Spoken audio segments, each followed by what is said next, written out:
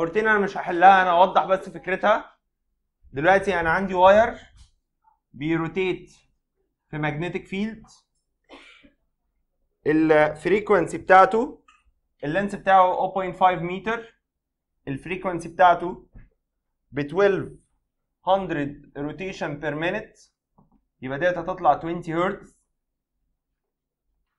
perpendicular magnetic field ال flux density بتاعته 3 times 10 power negative 5 تسلا عايز ال potential difference ما بين ال ends بتوعه هو دلوقتي ديت إحنا قلنا بنعمل فيها إيه؟ لما يكون wire بي rotate في magnetic field بشتغل بالأصل إن ال induced emf negative N delta phi over delta t قلت بعمل neglect لل negative وبحط ال N ب 1 هيفضل لي delta phi over delta t بس.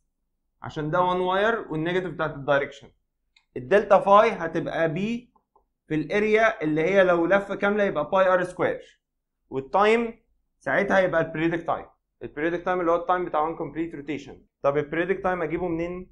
من ال frequency 1 over ال frequency خلاص؟ بس هنعوض نجيبها.